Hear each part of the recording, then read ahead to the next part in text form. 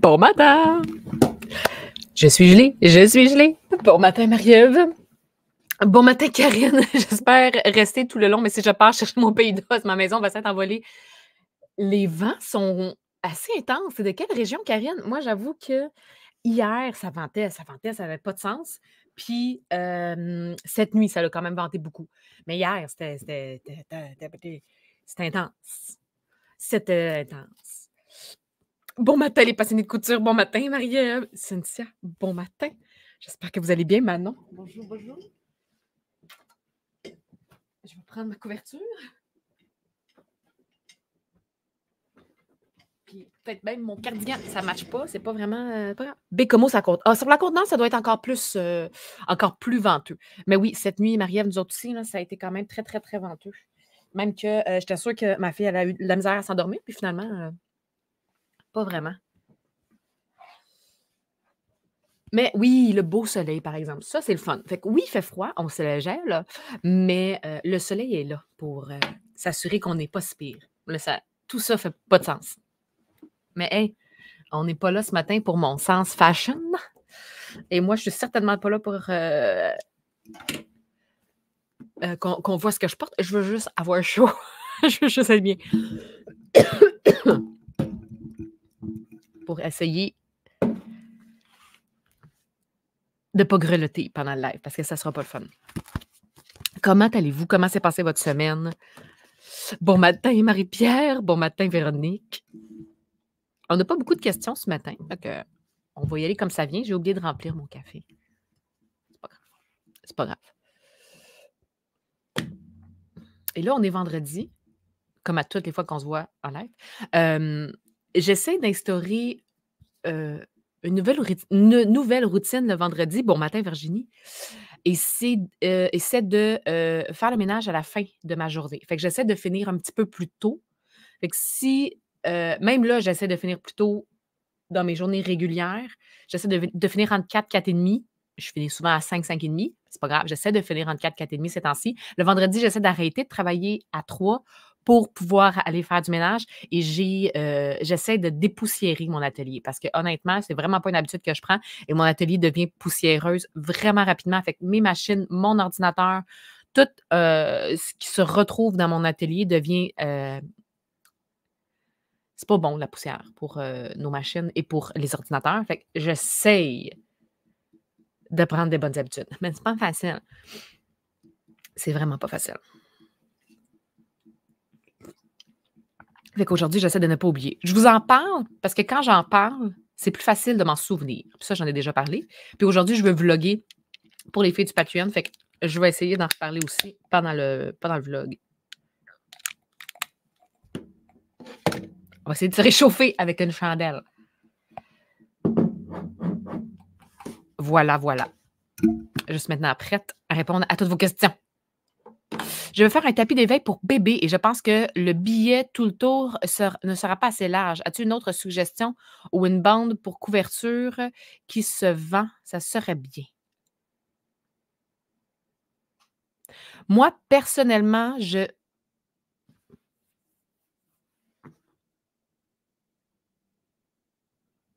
OK, un petit peu.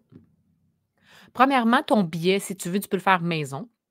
Donc, tu pourras le faire plus large si jamais tu veux y aller vraiment avec cette finition-là?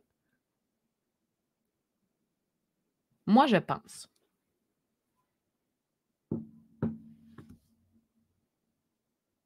Je, je, ça paraît pas, là, mais je réfléchis.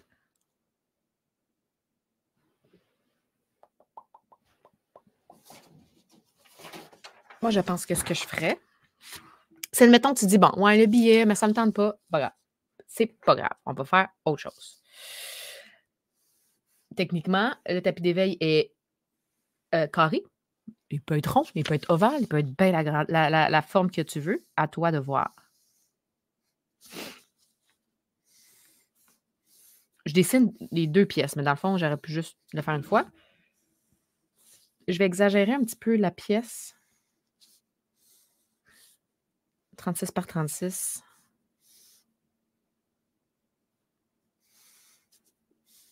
Ce sera pas long. J'étais en train de faire un croquis.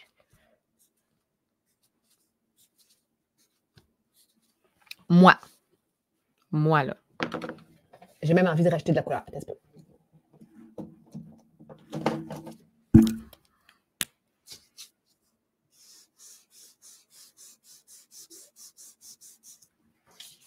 Et ma fille serait pas fière de ce coloriage-là. Je vais à la va-vite un petit peu.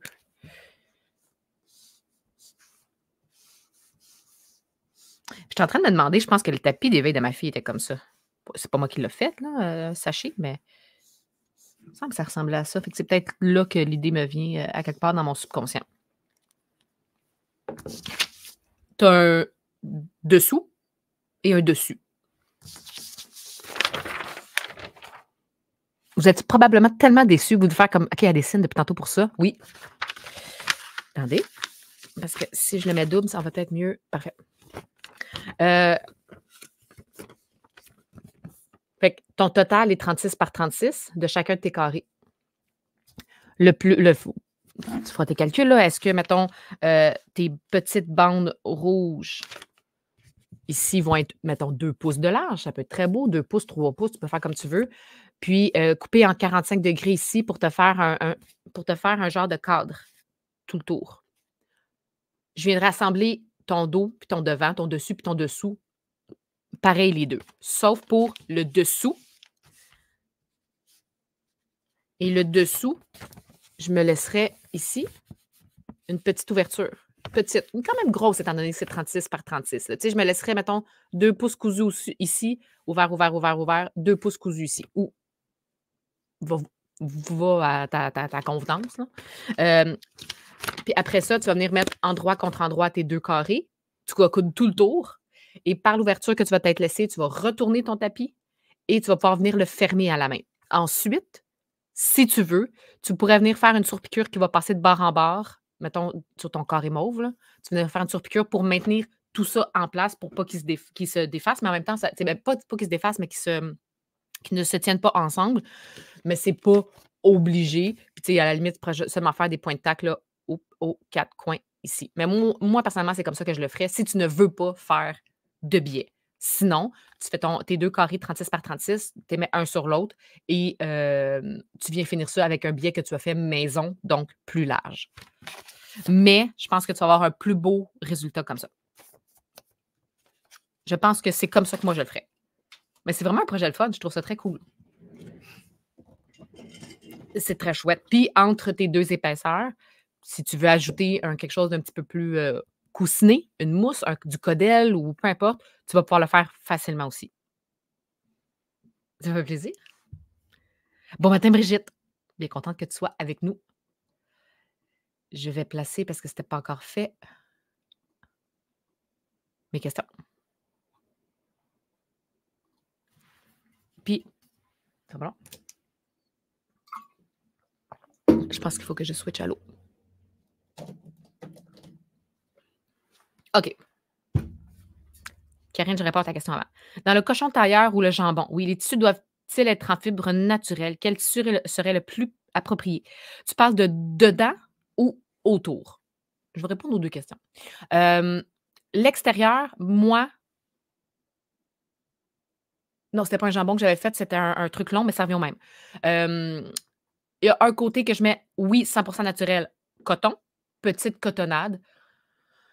J'essaie qu'il y ait le moins de teinture dedans possible, ou sinon, je m'assure qu'il a été bien lavé pour que euh, ça ne soit pas extérieur parfait, pour que ça ne soit euh, que ça ne déteigne pas avec la chaleur, avec le la vapeur. Tu que pour pas que ça déteigne. Fait que oui, tu essaies de prendre un tissu en coton qui a le moins de teinture dedans possible. Tu ne prends pas du rouge, idéalement. Je fais donc un côté coton et de l'autre côté, personnellement, je fais un côté lainage. Pourquoi je fais ça? encore là, lainage le plus naturel possible. Souvent, ça va être des mélanges. C'est très rare des lainages qui sont 100% laine, mais il y en a. Fait que j'irai le plus possible vers du 100% naturel. je me demande les mélanges si c'est pas, mettons, laine coton ou laine, je sais pas. pourquoi je fais ça? Les jambons classiques sont faits comme ça parce que quand tu vas venir presser, c'est le fun d'avoir ces deux caractéristiques de tissu. Donc, la cotonnade qui est lisse, qui n'a pas vraiment de texture. Et l'autre côté, le lainage qui, lui, n'est pas lisse du tout, a une très, grande pardon, très grosse texture. Ça va sortir. Faut que je bois de l'eau, j'ai la gorge sèche. Une très grosse texture, c'est duveteux. Euh, et habituellement, le jambon est souvent a été créé, souvent utilisé pour la confection de vestons. Et le veston va avoir une doublure, des fois en cotonnade, ou du moins qui va ressembler à ce genre de texture-là. Et l'extérieur va être fait en lainage. Et quand on presse quelque chose en lainage, on prend le côté lainage. Et quand on presse quelque chose qui ressemble à de la cotonnade, on va presser du côté cotonnade. Fait que tu utilises tes deux côtés de façon différente. Tu n'es pas obligé de faire ça. Mais oui, tu dois prendre des fibres naturelles. Ça, c'est super important. Euh, si tu veux que ton, que de deux, ne pas abîmer les tissus que tu vas utiliser, parce qu'il y a certains tissus synthétiques qui n'aiment vraiment, vraiment, vraiment, vraiment pas le faire à repasser. Et de deux, pour que ton jambon te dure le plus longtemps possible, ton coussin euh, tailleur. Le jambon, c'est un coussin tailleur. Hein. Euh, euh, tu veux qu'il te dure le plus longtemps possible. Et si tu, utilises des fibres synthétiques, les fibres se les fibres synthétiques se détériorent beaucoup plus rapidement au contact de la chaleur et de la vapeur que les fibres naturelles qui, elles, adorent la vapeur et la chaleur.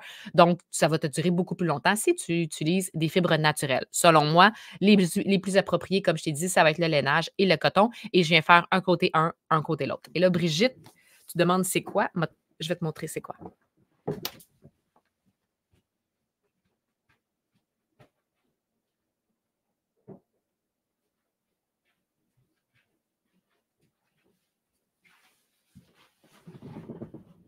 C'est ça. Les jambons seraient-ils mangeables? Non. Euh, non, ce n'est pas mangeable. Donc, c'est ça, le coussin tailleur. Euh, oh, il y a un épingle dedans. Et si tu regardes justement dans la composition, euh, à l'intérieur, ah non, c'est pas vrai. C'est du coton, les deux. Moi, personnellement, quand j'ai fait le mien, j'ai fait un côté lainage et un côté cotonnade comme je disais, avec le moins de euh, teinture possible. Oui, j'ai fait une vidéo de comment en faire. C'est sûr. C'est pour, pour le pressage. On a besoin, quand tu presses un vêtement, quand tu presses, mettons, qu'est-ce qu'on pourrait presser? Mettons que tu presses une latérale. On s'entend pour dire que c'est une ligne droite. Tu ouvres ton projet, tu ouvres tes valeurs de couture et tu presses. Lorsque tu presses une tête de manche, euh, des pinces, c'est pour donner du relief, c'est pour donner, c'est pour donner une courbe à ton vêtement, Lou, lou, là où il y a courbe sur notre corps. Donc, on a besoin de quelque chose de courbé pour venir nous aider. Comme ça, c'est une tête de manche. On va pouvoir venir mettre le vêtement, le jambon et on va pouvoir venir presser pour que notre vêtement prenne la bonne forme. On n'a pas toujours besoin de presser. le, veut rentrer. On n'a pas toujours besoin euh, de presser en ligne droite et à plat. On a souvent besoin que notre vêtement respecte le relief qu'on veut lui donner. Et c'est pour ça que les outils euh, de repassage sont vraiment, vraiment utiles. Des outils de pressage, devrais-je dire. Je vais aller ouvrir la porte au chat. je m'en allais dire quelque chose d'important. Quand on, on, fait nos propres outils, ça sera vraiment pas Vraiment, pas la même texture. Moi, ce que je mets à l'intérieur, c'est des retailles de tissu. Une, excellente façon d'utiliser une retaille. Et avec mon. C'est juste, c'est beaucoup, beaucoup de travail parce que ça en prend énormément et je ne les laisse pas en gros morceaux parce que je veux que ce soit le plus compact possible. Donc, avec mon couteau rotatif, je passe des centaines de fois pour avoir des petits bouts de retaille, des tout petits bouts pour pouvoir le remplir mais euh, il y a des personnes qui, euh, soit que leurs conjoints, conjoints sont ébénistes ou qu'ils connaissent quelqu'un qui, fait de l'ébénisterie dans leur famille et utilisent du brin pour mettre à l'intérieur. Si c'est ce que vous faites, je ne l'ai jamais essayé, mais j'ai entendu dire que c'est merveilleux parce que ça compacte vraiment beaucoup. Puis ça peut être pressé, puis ça peut être mis sur la chaleur, il n'y a pas de problème. la seule chose, c'est que je le ferai double pour être sûr que la poussière de brin ne sorte pas. Ça serait mon réflexe. C'est-tu un bon réflexe? Je ne sais pas. Je vais juste aller rentrer le chat parce qu'elle me regarde dans la fenêtre, puis euh, si j'y vais pas, elle va, elle va s'attaquer au moustiquaire. Vas-tu le voir? On la voit pas, hein? À cause de la lumière? On la voit pas. Encore, il y a trop de reflets, ça sera pas long.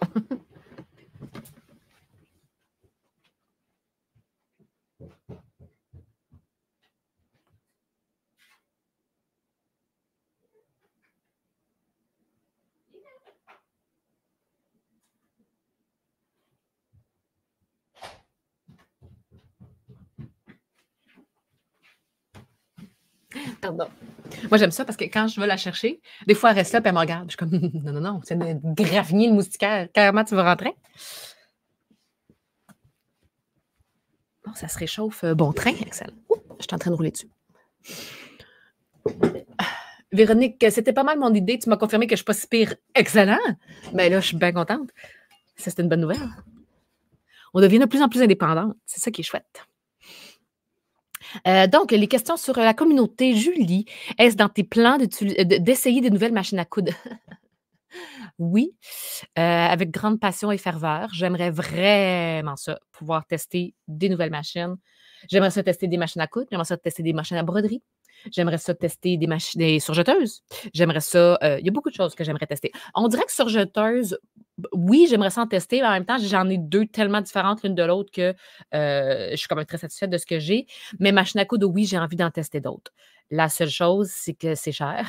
J'apprends ça à personne. Il n'y a personne qui tombe de sa chaise en ce moment.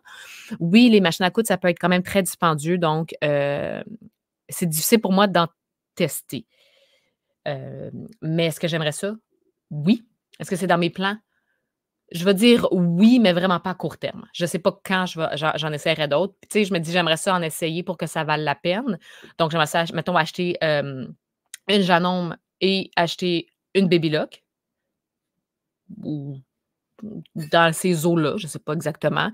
Euh, et j'aimerais ça éventuellement aussi parce que euh, ça a toujours été dans mes plans de faire euh, peut-être soit des cours, pas nécessairement des cours à la maison, je ne veux pas faire des cours en présentiel chez nous, mais euh, j'ai déjà jonglé avec l'idée de faire des camps de jour pour les enfants. Ma fille s'en vient de plus en plus grande, fait que ça serait peut-être le fun de, de, de faire des camps de jour, mais ça me prendrait plus de machines. À moins qu'il y ait des jeunes qui peuvent amener leurs machines. Ça, c'est possible. Pour le jambon des rognures de surjeteuse, en effet. En effet, tout ce qu'on vient couper avec ce qui se retrouve dans le petit panier de surjeteuse, là, ça peut être une excellente façon de réutiliser ça. Très bonne idée, Claire, en effet. Marie-Ève, qui est avec nous justement ce matin. Euh, As-tu déjà changé les griffes sur une machine? Je trouve que euh, ma machine patine. Alors, je me demande si ça, ne serait pas le problème. Oui, les machines. Oui, j'ai déjà changé des griffes sur une machine industrielle. Je n'ai jamais changé de griffe sur ma machine domestique encore. Euh, principalement, la raison, principale est que euh, une surjeteuse, euh, pas une pardon, une industrielle, c'est des machines qu'on utilise beaucoup, longtemps, souvent et en quantité industrielle, justement. Donc, souvent en production, je ne suis pas la première propriétaire de cette machine-là. Elle avait été utilisée avant. C'est quand même. Il faut quand même travailler beaucoup, puis il faut vraiment être, faut vraiment être intense pour que nos, euh, nos griffes soient abîmées. Ceci étant dit, parce que là, je me dire, c'est peut-être pas ça le problème. Parce que je me dis, pour que tes griffes soient abîmées, il faut que tu aies utilisé vraiment beaucoup et vraiment longtemps ta machine. Tu as peut-être une machine seconde main qui, oui, a été utilisée beaucoup, ça, c'est possible. Ceci étant dit, ça se change. Sauf que moi, ce que je, euh, je regarderais peut-être, c'est que sur plusieurs machines, je pense que je suis même capable de vous le montrer.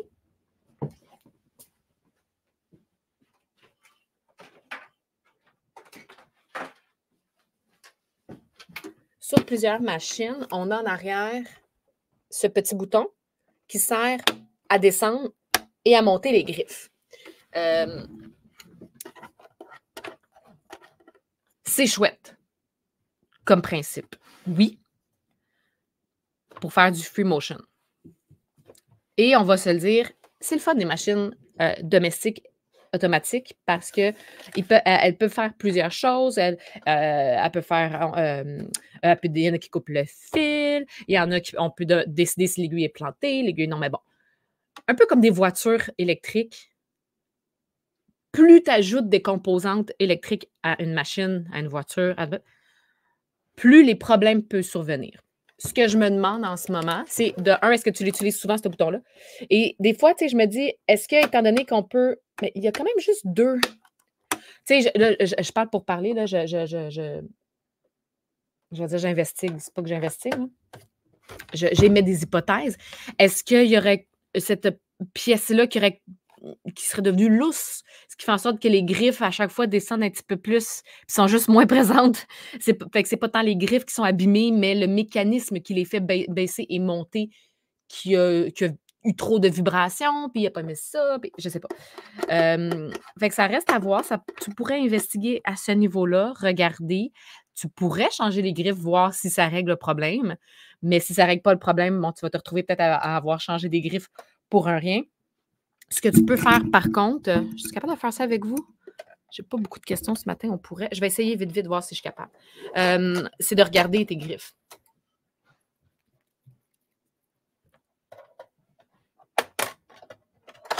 Parce que j'ai ce petit euh, bouton qui descend mes griffes. Il s'est déréglé sur ma machine et c'est exactement ce que tu dis. Elle descend au fur et à mesure.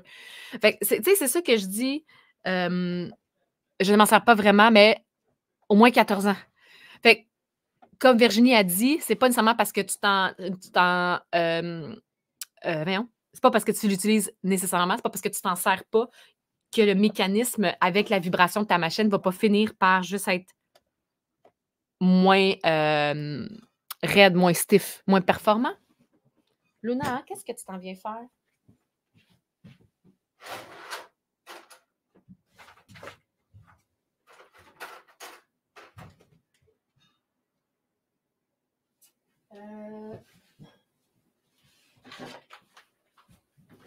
Excusez, je cherchais mes tournevis. Je vais voir si je suis capable de les enlever. Puis pendant que je défais ça, ma machine aussi a 14 ans. 14 ans, c'est quand même vieux pour une machine domestique? Pas dire qu'elle est finie, là, mais peut-être qu'à ce niveau-là, euh, tu vas avoir besoin d'une réparation. Euh, yo, mon petit outil.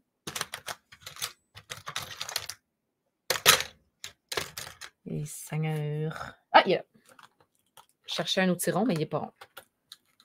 Je vais répondre à l'autre question, mais je continue à, défaire ça juste pour essayer de te montrer quelque chose. Euh, Claire, quel pourcentage d'étirement il faut calculer pour un tissu extensible si on veut faire un bonnet ou une tuque? Ça dépend de ton patron. Euh, ça dépend de ton patron. C'est qu'est-ce qui va être marqué dedans, puis tu n'as pas le choix de le respecter euh, dans le patron que tu t'es procuré. Tu n'as pas le choix de respecter l'extensibilité qu'ils vont t'avoir donnée.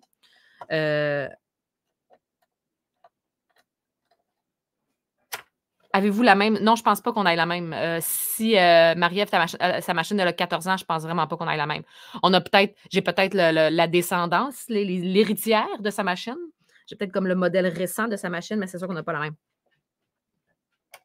même et pour continuer euh, avec ta question, Claire, OK, je, je voudrais une chose à la fois. Quel pourcentage d'étirement il faut calculer pour tissu extensible? Si on veut faire un bonnet, tu dois donc respecter le taux d'extensibilité qui a été indiqué dans le patron. Tu ne peux pas dériver de euh, ce qui est indiqué dans le patron. Tu n'as pas le choix de prendre le même taux d'extensibilité. Si le taux d'extensibilité n'est pas indiqué, il y a un problème. Euh, ça devrait être fait. Et si c'est toi qui fais ton propre patron, ben, ton, taux d'extensibilité va être décidé en, en, Je ne sais pas capable de parler ce matin. Ton taux d'extensibilité va être en conséquence de, ce que, le patron que tu vas avoir conçu. Fait dans cette optique-là, n'importe quel taux d'extensibilité peut fonctionner. Il faut juste que ton patron soit adapté au taux d'extensibilité que tu vas choisi. Euh, il y a bien de la poussière en dessous de ça. C'est rare que j'enlève les griffes. Hein? Euh, là, j'ai-tu besoin de. C'est la seule chose. Je peux peut-être. Euh, je pense pas que vous allez voir grand-chose.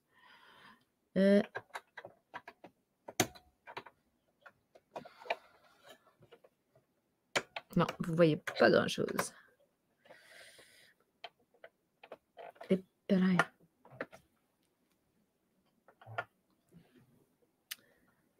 mes vis sont vraiment coincées. C'est vraiment le fun, hein, cet endroit-là, pour aller jouer dedans. Bon, je vais peut-être essayer quelque chose d'abord. Moi, je me suis fait plaisir. Je me suis acheté une nouvelle machine, la Brother NQ900. Je l'ai reçue avant hier. Oh, bonne fête en retard, Virginie. Ça, c'est très cool, par exemple.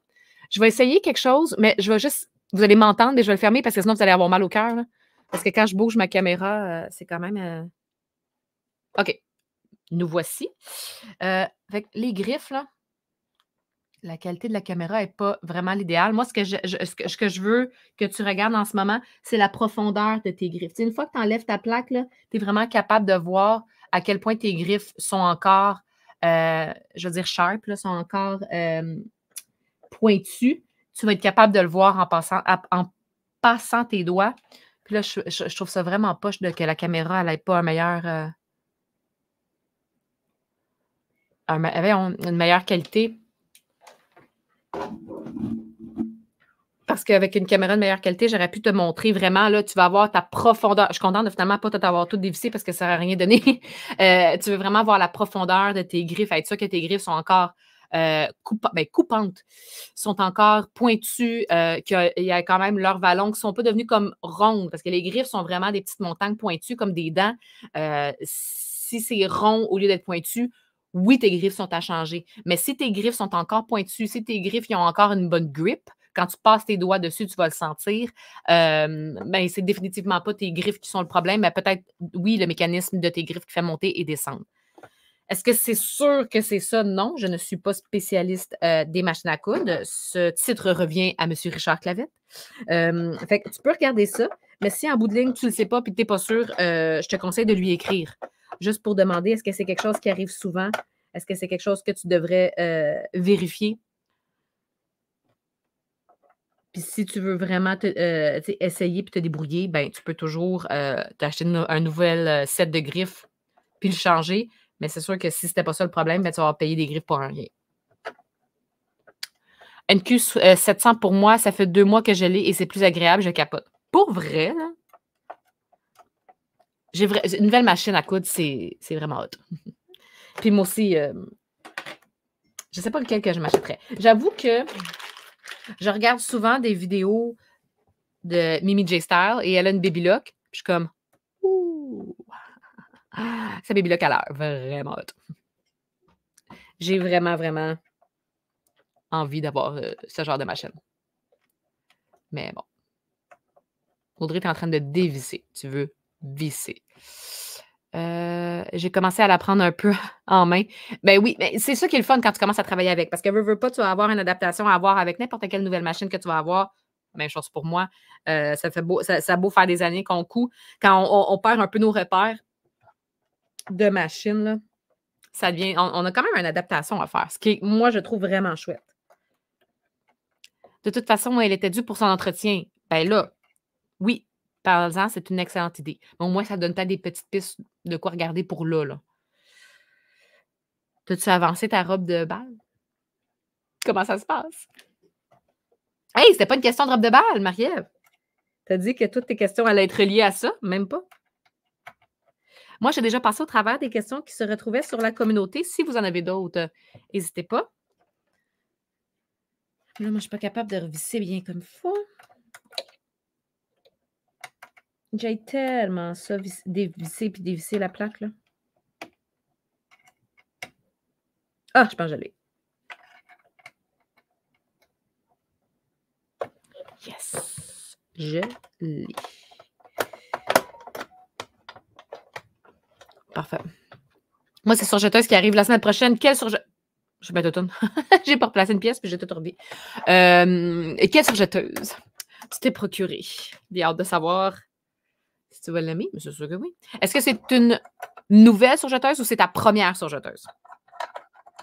Parce qu'on va se le dire, euh, nouvelle surjeteuse, c'est quand même très, très, très chouette. Et voilà. Euh, non, ma fille s'est fait enlever les dents de sagesse. Oh, 4. Mais en fin de semaine, mon projet est de faire la toile. Excellent. Je compatis. euh, Se, faire enlever 4 dents de sagesse, je l'ai faite à 32. C'est 32, 33. C'est, euh, ouais, Je suis devenue, là, tellement rectangulaire. J'avais la tête de Thanos dans les Avengers. Mon chum, il riait bien quand je disais ça. Ça, ça, je remets ma canette. Je vais aller reporter ça là-bas et je lis vos messages.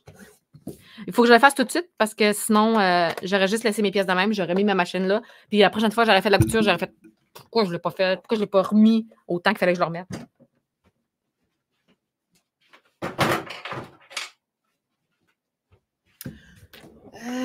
J'ai aussi une vis NQ700. Elle fait tout, même deux épaisseurs de jeans avec les coutures de côté. Ça, c'est vraiment chouette. Puis c'est une des choses qui est quand même vraiment importante quand euh, on choisit notre machine à coudre, c'est d'en choisir qui vont être capables de faire le plus de choses possible, qui vont être le plus polyvalentes possible. Puis je ne parle pas nécessairement en termes de points. Euh, ma machine, à moi, elle en fait je sais pas combien parce qu'ils ils disent qu'elle fait comme une centaine de points parce qu'elle fait des points de broderie. J'utilise jamais les points de broderie. Jamais, jamais, jamais, jamais. C'est pas ça pour moi, une, machine polyvalente. Vraiment, la machine polyvalente, qu'est-ce qu'elle va faire? C'est qu'elle va être capable d'aller au travers de plusieurs épaisseurs. Elle va être capable d'avoir un régulateur de vitesse. il va comme avoir plein de trucs euh, qui vont entourer les points. Il y a des points de base que je veux avoir, mais c'est pas, on ne va pas m'attirer avec 185 points. Ça ne m'intéresse pas. Ce n'est pas ça que je veux sur une machine à coudre. Mais que ça soit capable de coudre dans les épaisseurs, ça, c'est hot. Celle que tu déballes dans le cours de surjeteuse, c'est c'est pas ta première. Moi, j'aime vraiment encore beaucoup. moi, mes surjeteuses, mon problème, c'est que euh, j'utilise quand même beaucoup. Et j'ai l'impression que je passe au travers de couteaux comme si je cousais mes épingles. Je comprends pas. Ah, c'est ta première. OK, OK. Je pense que tu vas vraiment l'aimer. C'est une belle première machine, euh, une belle première surjeteuse, vraiment, vraiment.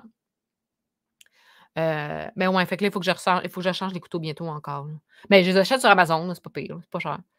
Je regarde pour m'acheter une cover stitch. Est-ce que cela vaut la peine d'attendre et d'en avoir une style Euphorie ou une Bernadette? Euh, peut faire l'affaire. Une 5 fils vaut-il le coup? Moi, personnellement, 5 fils, je l'utilise, je je l'utilise jamais. Personnellement. Mais euh, une euphorie. C'est Baby Lock, hein, ça?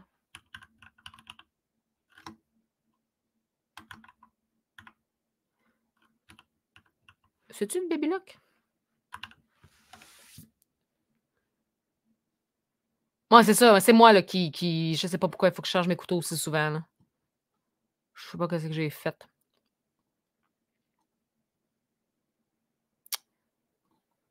Et quand même quasiment 2000 là. C'est quoi l'autre, la Bernadette?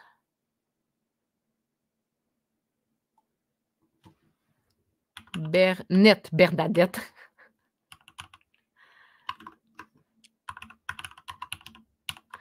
Je pense que je vais te répondre tout de suite que euh, une de base va faire l'affaire. Tu n'as pas besoin d'avoir une cover stitch à 2000. Ben oui, la Bernadette. La Bernadette! La Bernette. Pour point enveloppant de 3 à 4 fils. Oui. Ça fait en masse de travail.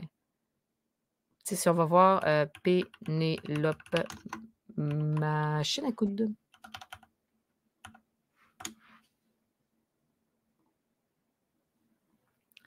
Euh, je vais regarder, pas les machines à coudre, je veux regarder cover stitch. machine à recouvrement. Hey, la Euphoria est plus chère que. Là, j'ai dit 2000, c'était américain. Elle est 3375. Non. Non. Pour juste une recouvreuse? Non. Moi, j'ai une Bébula qui fait la machine à recouvrement, mais elle fait aussi le surjet, elle fait aussi le, le, surjet 3 fils, 4 fils, elle fait le 5 fils, elle fait le rouloté, elle fait. Puis elle m'a coûté ça. Non. Euh, tu sais, la recouvreuse Brother 30, euh, CV, c'est la cover stitch, euh, 35,50, elle est en spécial en ce moment à 800 Ça fait en masse à travail. Mais la Bernette, qui est aussi chez Penelope Machine à est en ce moment, en, elle a quand même un bon spécial en ce moment. Fait que ça aussi, ça peut être cool.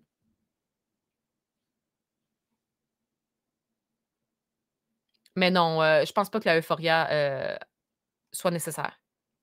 Si je l'achète, je la, je Bernadette. S'il te plaît. Je trouve que Bernadette, ça y va tellement mieux que Bernette. Bernette, c'est mignon, par exemple.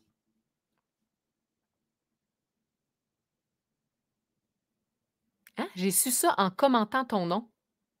Un peu. Marielle, un petit peu. Où est-ce que tu as vu ça? Euh, sur une des pages de Richard?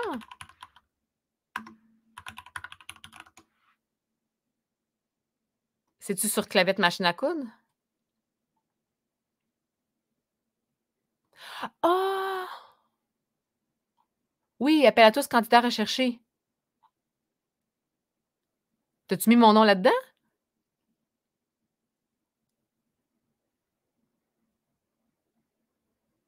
Peut-être peu. J'essaie de retrouver, voir ton commentaire.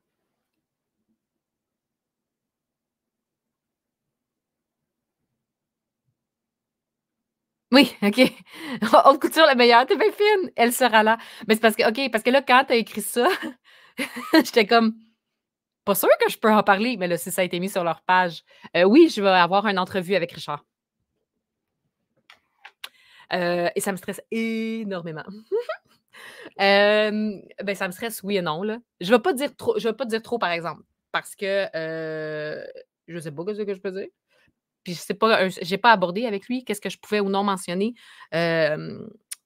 mais parce que ça fait partie, je pense, d'un plus gros projet. Bref. Ouais, je vais me faire interviewer par Richard et son équipe. Ça répond tellement pas à ta question. C'est une, entrevue sur haute couture. Ça, je pense que je peux dire. Oui. Sur l'univers haute couture. Je vais parler un peu de ça, là. Ouais. C'est au mois d'avril, ma, mon entrevue.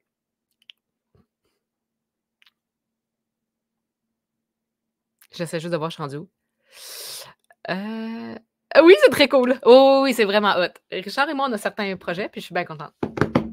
Il est tellement fin. Il est tellement extraordinaire. J'ai vraiment, vraiment, vraiment, vraiment hâte de faire toutes les choses. Moi, à chaque fois qu'il me propose quelque chose, je suis comme oui. Quand? Parfait. Puis après ça, je suis comme oh mon Dieu, voir que j'ai dit oui. Mais euh, ça va être de beaux projets. Ouais, c'est vraiment cool. C'est vraiment chouette. Je suis bien heureuse.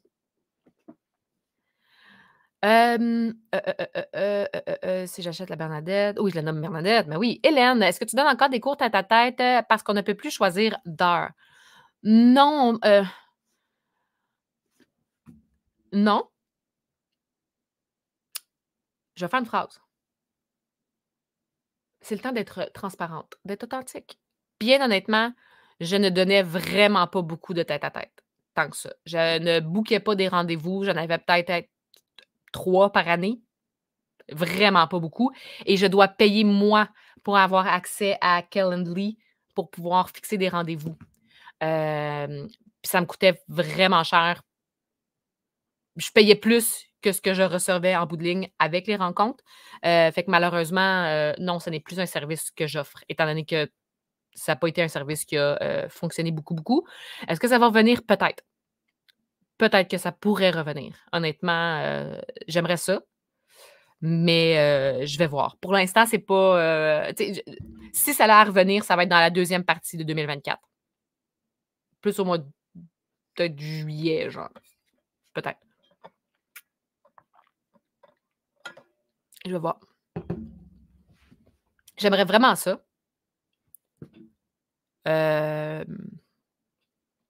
Puis j'ai été triste de l'enlever. Vraiment. Parce que, un peu comme la plateforme de, live, j'ai une limite de création de réunions dans la plateforme de calendrier et j'en ai une pour les cueillettes. Fait que là, d'en mettre deux supplémentaires, une de 15 minutes et une de 30 minutes, c'est là où est-ce que ça commence à coûter de l'argent. C'est sûr que les cueillettes, je n'ai pas le choix de les garder. Puis ça, j'en ai beaucoup plus par année. Mais en restant avec une seule rencontre, restant avec une seule rencontre, j'étais avec le, programme gratuit, fait que ça ne coûte rien. Mais oui, j'aimerais vraiment ça que ça revienne. Karine, suis-je la seule à nommer mes machines? Non. Non. Euh, je t'avouerai, par exemple, que j'ai juste nommé dans ma vie mes machines industrielles. Je ne sais pas pourquoi mes machines domestiques, je ne les ai jamais nommées. Euh, au bout là-bas, son nom est encore dessus, c'est Vladimir. Moi, puis moi, je marque son nom, son, tu sais, comme un My name is, hein? c'est Vladimir. Et pendant très longtemps, j'ai eu Igor. À l'école, ma machine s'appelait Igor. Karkarov. Harry Potter. C'était des noms euh, russes. Je sais pas pourquoi. Mais je serais dû pour nommer mes trois autres, par exemple. Hey, euh, on devrait faire ça. Bah, pas là, là. Mais ça devrait être. Il faut juste que je me trouve une, thématique. Ça pourrait être une thématique Harry Potter. Mais ça pourrait être une thématique autre. Ça pourrait être, euh, euh, pour toutes les filles qui sont dans Patreon, ça pourrait être une thématique Brandy Sandy, une thématique Brandon Sanderson. Puis je donne des, des prénoms qu'on retrouve dans les livres de Brandon Sanderson. Ça pourrait être très cool. Ça pourrait être vraiment chouette. J'adore les personnages. Puis sur son site Internet, des fois, je vais zioter son site Internet parce qu'il met des nouvelles sur ses livres. Euh, il marque à quel pourcentage il est rendu d'écrire tel, tel livre. Puis bon, telle série est rendue à quel pourcentage d'être finie. Puis c'est super intéressant de faire un tour sur son site Internet. C'est un des auteurs préférés. Puis ils viennent de euh, mettre en ligne des petites broches, des petites épinglettes à l'effigie de ces personnages. sont vraiment hot. Il y en a une de Vin, il y en a une de Kelsière. Euh, puis là, de celles qui ont lu Tress et la mère de Broad, il y en a une de Tress. Euh, il y en a une de Holt. Il y a, ils sont vraiment hot. Je me dis, ça pourrait être aussi la thématique de mes machines. Moi, j'aime ça qu'il y ait une thématique. Fait que quand je les nomme, il y a toujours quelque chose. Mais Gisèle, j'adore ça. Gisèle est distinguée. Gisèle est élégante. J'aime ça. Euh, Maria, petite question. Euh, Rob, euh, qui vient de popper. Parfait. Est-ce que cela serait mieux si je mets des baleines de chaque côté du dos? Près de- Oui, oui, oui, près du lassage, oui.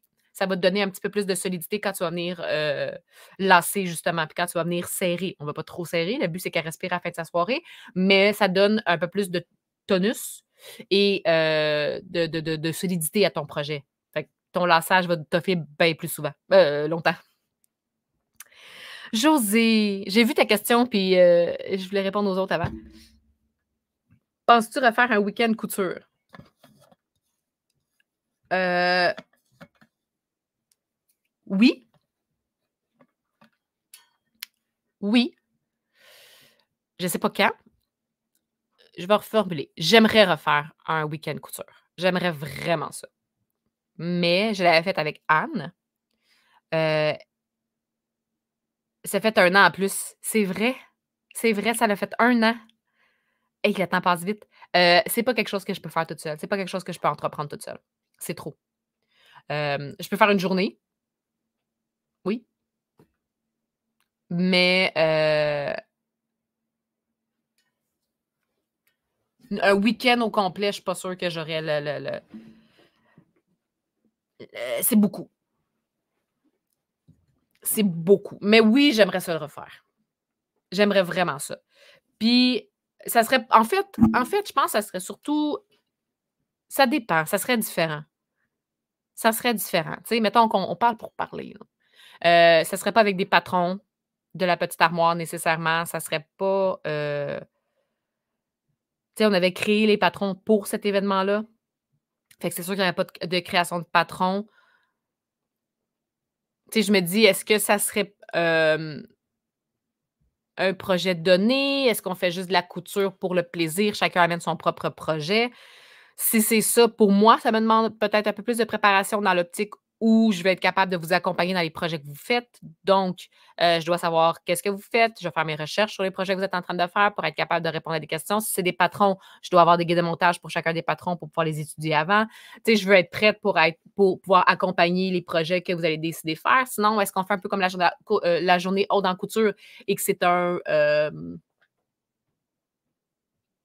sac à dos ou un genre de projet où est-ce qu'il n'y a pas de grandeur, où est-ce qu'il n'y a pas d'ajustement, où est-ce que euh, ça peut être ça aussi. Si c'est encore une fois à l'extérieur, dans un chalet, euh, honnêtement, on pourrait juste reprendre le même chalet et on ne se casse pas le bicycle.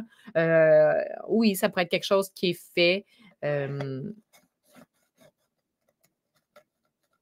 c'est- possible, honnêtement, c'est possible. C'est juste, c'est tellement intense en termes d'organisation. Le avant, euh, le après, j'ai pleuré pendant une semaine. Anne puis moi, on a vraiment dévasté que ce soit fini. Puis, euh, on avait vraiment eu une grosse dose d'amour. On avait vraiment eu du plaisir. On avait, puis on est comme, il n'y a personne qui va comprendre ce qu'on vient de vivre. Puis, en effet, c'était vrai. Pas beaucoup de personnes qui ont été capables de, comprendre ça. Euh, c'était vraiment, c'était vraiment un week-end parfait. On a vraiment aimé ça. On est revenu sur un nuage. Euh, puis, je pense qu'une des choses qui nous a le plus fascinés, c'est que quand on a commencé ce projet-là, quand on a commencé à le mettre en branle, on se disait, on va être quand même. euh, on était 10? 11? Ça m'échappe. On était une dizaine. Euh, puis c'est 10 filles qui ne se connaissent pas, pour la plupart. Bon, il y avait Roxane, euh, Marie-Pierre, Marie-Ève, Marie-Ève, Alex, euh, José, il me semble, tu faisais-tu partie du Patreon ou non, mais on était une gang que Patreon, genre 15, c'est ça. On était une gang qui se connaissait déjà du Patreon, mais qui se connaissait d'écrit. Je veux dire, on ne s'était jamais vu avant. Fait qu'on avait la crainte d'arriver de dire on est quand même 15 inconnus, 17 avec Anne et moi, dans un chalet pendant deux nuits. Euh, on ne savait pas qu'est-ce que ça allait être. Là. Et je pense qu'une des choses qui nous a le plus fasciné, c'est qu'on est tombé sur 17 personnes. Oui, réunies par une même passion, mais quand même 17 personnes extrêmement différentes l'une de l'autre. Et le sentiment de communauté qui a été au travers de toute cette fin de semaine-là, l'entente entre les filles, on s'est toutes bien entendues, on a toutes eu du fun. Ça n'a pas été long qu'on a été à l'aise. Je pense que c'est Marilyn, Marilyn aussi était dans le Patreon. Je pense que c'est Marilyn qu'elle est partie de chez elle, puis euh, elle, partait de sa job. Puis là, sa job, il a dit Tu t'en vas où Puis elle avait dit Ben, elle dit Je m'en vais dans une fin de semaine de couture. Puis elle est comme avec des amis, puis elle était comme Non, du monde que je connais pas. Puis elle Tu t'en vas dans une fin de semaine de couture au, à Québec, parce qu'elle, elle, habitait, je me semble, dans la région de Montréal, avec 16 euh, inconnus. Puis elle était comme Ouais personne comprenait comme t'es folle de faire ça. tu connais personne de cette gang-là, puis tu t'en vas dormir avec eux autres pendant deux jours. Puis, oh, pour vrai, ça a été. Euh, ouais. Ça a vraiment été cool. On s'invite chez toi sinon. Il y en a qui vont triper. Mais j'aimerais tellement y participer la prochaine fois. Ça serait malade. Euh, ouais, c'est on était 15, t'as raison. Comme on fait en sprint thématique et chacun a son patron, c'est vrai que ça pourrait être ça. C'est vrai qu'une thématique, ça pourrait être cool, par exemple. Ça c'est exactement, Marie-Ève, ça s'est fait vraiment naturellement. Puis oui, on a, on a été dans le spa le soir, on a été vraiment relax. Euh, il y en a qui sont allés se coucher plus tôt, il y en a qui se sont couchés plus tard. Ça a vraiment été hot. Euh, si on organise et qu'on t'invite comme spécialiste, écoute, je vais être là. Je vais être là. Mais oui, honnêtement, euh, c'est quelque chose qui se refait. Je sais qu'Anne et moi, ce qu'on aurait aimé, c'est de trouver un chalet où est-ce qu'on une place où est-ce qu'on peut faire la couture dans le chalet. on aurait aimé ça ne pas avoir à se déplacer dans la salle. Parce que ça a été quand même de la chenoute. Ben, pas que c'était de la chenoute, mais c'est de tout transporter. C'est quand même intense.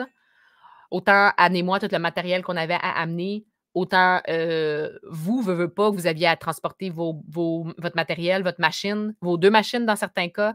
fait quoi, ça a quand même été intense. Il y en a-tu qui avaient amené deux machines? Je suis en train de me demander. Oui, oui, vous aviez vos deux machines. Non. Je m'en souviens plus. Je m'en souviens plus. Mais qu'est-ce que je m'en allais dire? Ouais, ça serait le fun de trouver une place. Si ça se refait, ça serait hot de trouver une place où est-ce qu'on peut, se faire, on peut se faire ça sur place. On peut se faire ça dans le chalet en, en tant que tel. C'est vrai que ça, ça pourrait être cool. C'est vrai. Réserver des chambres. C'est vrai qu'un hôtel, un hôtel, pardon, ça pourrait être cool. Oh mon Dieu, non, Audrey. C'est vrai qu'un hôtel, ça peut être cool. J'ai pensé à quelque chose.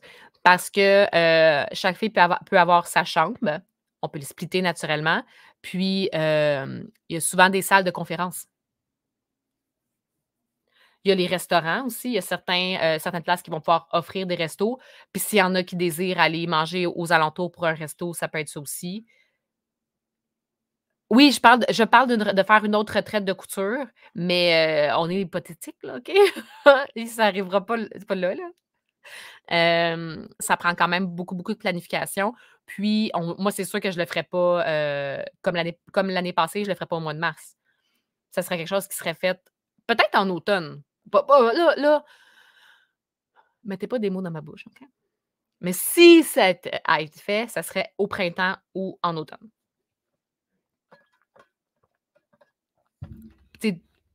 Début novembre. Il faut que ce soit après l'Halloween parce que l'Halloween, c'est beaucoup trop intense.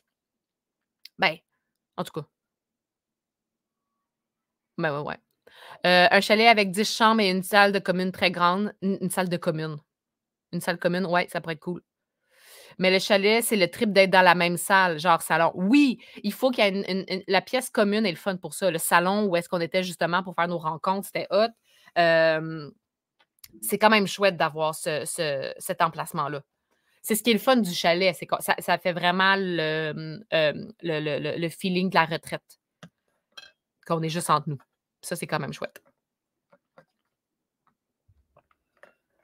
Faudrait regarder. Puis là, je veux dire, on s'entend pour dire que retraite represent.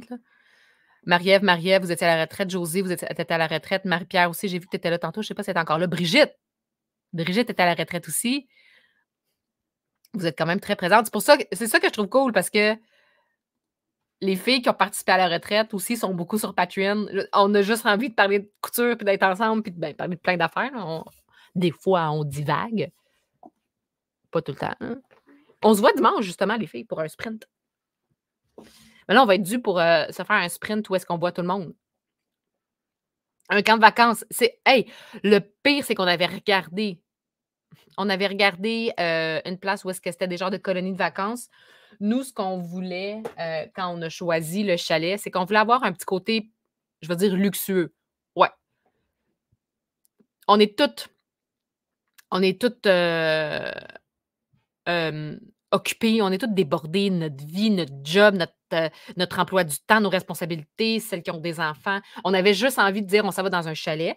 Personne pense à rien. Personne pense à la bouffe qu'ils ont à faire. Personne pense à tout ce qu'on fait, c'est être dans un chalet puis relaxer. Puis honnêtement, euh, c'est ce qu'on aimait de celui qu'on a trouvé. Avec les arcades, c'était hot, là. C'était vraiment cool avec les arcades. Puis ce qui est drôle, c'est que ma belle-sœur, elle a eu son party de Noël à ce chalet-là cette année, puis mon frère, il l'a accompagné, puis ils ont joué aux arcades. J'ai comme ça, hot, les arcades. hein? Mais euh, ça avait vraiment été un chalet cool.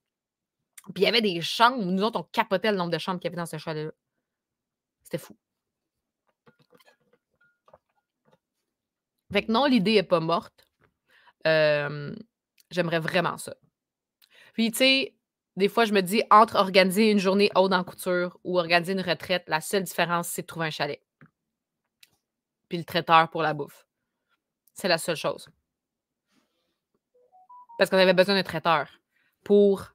On avait eu un traiteur pour le souper, le déjeuner. Pour deux soupers? Non.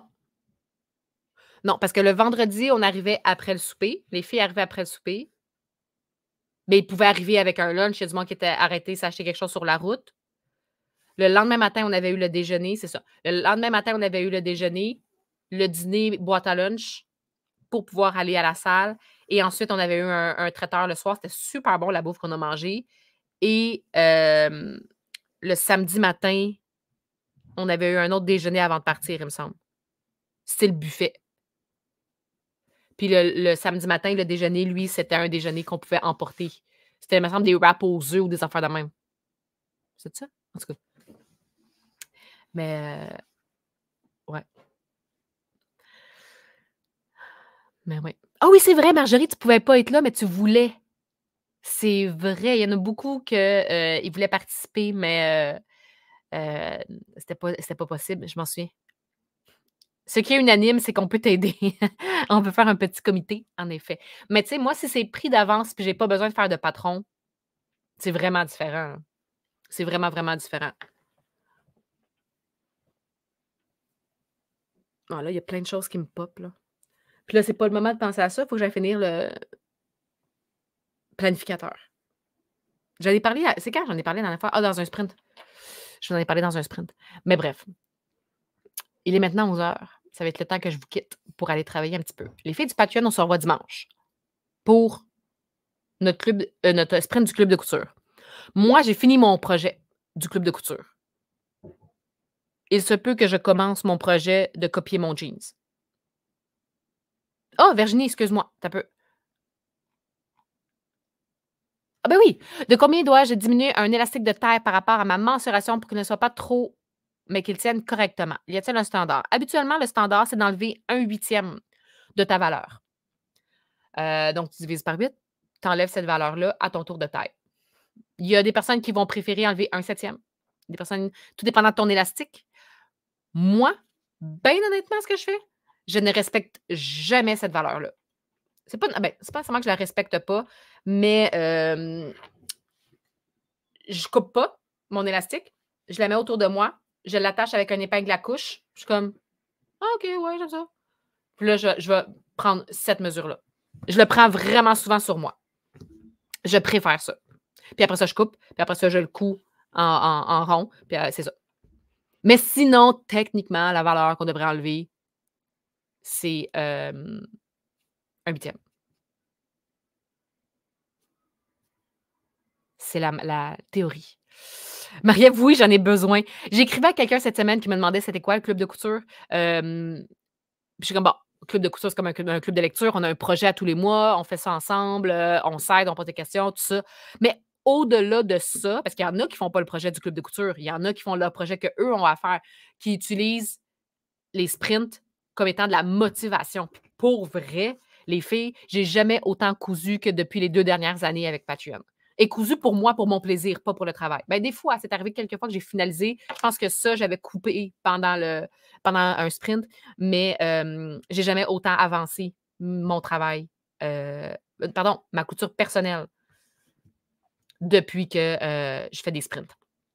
Et là, OK, changement. Complètement renversant. Pas tant que ça. Le mois d'avril, c'est thématique robe. Et là, je m'en allais faire Billy Jeans. Billy Jeans, c'était même pas voulu. Euh, Billy en jeans. J'ai été nommée bénévole de l'année à l'école de ma fille et j'ai été invitée dans un gala. Et là, qui dit gala dit je devrais me faire une nouvelle robe. Donc là, j'ai vraiment envie de me faire une nouvelle robe ou un nouvel habit, mais ça va peut-être être une robe, pour aller cette place-là. Fait que ça se peut que ma robe ne soit pas la robe Billy Jeans. Ça se peut que ça soit euh, une robe un petit peu plus chic. Puis je vais pouvoir la porter aussi pour le spectacle de la chorale de l'école parce que je suis aussi dans la chorale. Fait que ça se peut que euh, je trouve, je sais pas encore quoi, mais une robe quelconque. Puis j'ai vraiment envie de m'amuser. Merci Marjorie. J'ai vraiment envie de m'amuser avec ce projet-là. Fait que je vais peut-être commencer à aller sur Pinterest un peu pour aller voir. J'aimerais ça peut-être une robe à look vintage. Je sais pas. Je vais voir. J'aimerais ça peut-être un pantalon euh, avec une chemise. On verra. Euh, c'est thérapeutique. C'est vraiment thérapeutique. Vraiment. Le gala gown, exactement. Tu sais, je veux pas que ça soit trop, là. Je veux dire, moi, j'ai été l'année passée euh, parce que les enfants faisaient leur spectacle de chorale. Fait que j'ai été juste pour euh, les accompagner. Mais là, je vais être dans l'audience. Je vais être dans l'auditoire. Donc, euh, c'est chic, là. Le monde était bien chic. Ben, ben chic. J'aurais pas une robe longue, là. Mais je vais être habillée propre. Fait que c'est ça. Fait que vous, allez peut-être pouvoir m'aider à trouver mon style. Trouver mon patron. Merci, c'est surtout que le tissu de la jupe est lourd. Je, ne- euh, je ne voudrais pas que ça descende. Non, en effet. En effet, je suis bien d'accord avec toi. Fait que tu, tu vas peut-être vouloir en enlever un petit peu plus pour être sûr que ça se tienne bien. Fait que c'est pour ça qu'un huitième, oui, c'est la, la- la- la- théorie derrière la fonctionnalité. Euh, mais bien souvent, moi, j'échange. C'est pas euh, dur comme faire. J'écoute les sprints souvent en rediffusion pour aider. Pour vrai, ça aide vraiment. Oui. Ouais. Fait que justement, on va se revoir dimanche, 20h, même heure, même poste. On a aussi un sprint de lecture parce qu'on a commencé ça. euh, le 26. Et les filles, je vais peut-être être capable de m'être rendue à la moitié du livre, finalement. Peut-être. Si je lis un peu ce soir. Et demain, ma fille est avec son père, fait que je pourrais lire. On va voir. Oui. Un peu. Galagand, c'est-tu. Attends peu, là. C'est-tu un patron?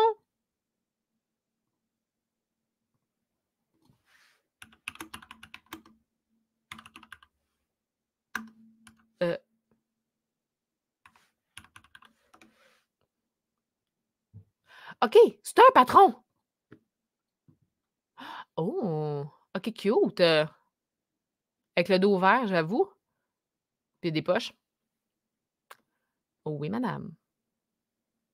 Très cute.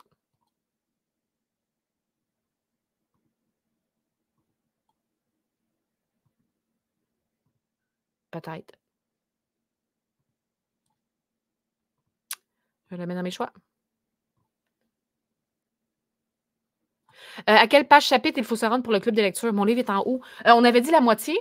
Euh, 460. Attends, donne-moi deux. Je vais prendre le temps de faire ça, je reviens.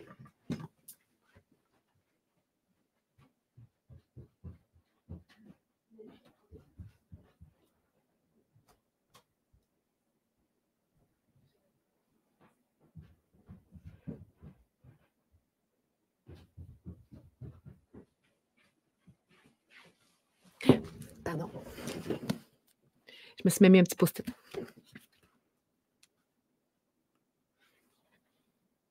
Chapitre 20, 462. Fait qu'il me reste juste ça. C'est possible. Puis, euh, je me donne. Je l'aime quand même beaucoup, notre livre, les amis. Je suis bien contente. Avoir une robe chic, c'est elle que je ferais. Pour vrai, c'est vraiment beau. Ben, avec un tissu qui se tient bien, ça peut être chouette. Question sur d'automne, ribs et bandes de taille. Je peux faire avec du coton watté? Oui.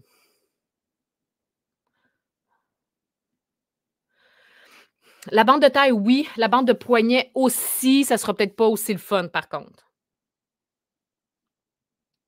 La bande de taille, ça dérange pas parce qu'elle n'est pas serrée. La, bande de poignet est plus serrée, fait que ça dépend. Ah, au chapitre 7 encore! Ben non, Virginie. Faut régler ça, là. Ça fait longtemps que tu es là. T'as arrêté de lire.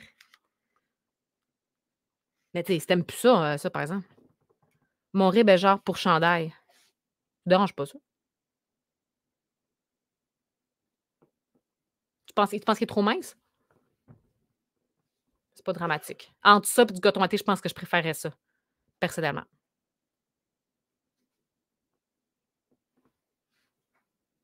Perso.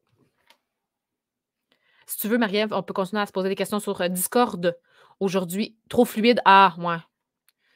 Hmm, Peut-être pas, dans le fond. Mais euh, ouais, on peut continuer à, se jaser sur Discord. Je vais être sur l'ordinateur pas mal toute la journée pour travailler sur le planificateur. Et euh, on, va pouvoir se poser des questions si tu veux. Sinon, ben, on se retrouve euh, dimanche soir. On va pouvoir s'aider si jamais tu as des questions. On va pouvoir continuer ça. Oui, je m'y mettre. Je lis assez vite. Je n'ai que ça à faire. Voilà. Je mijote.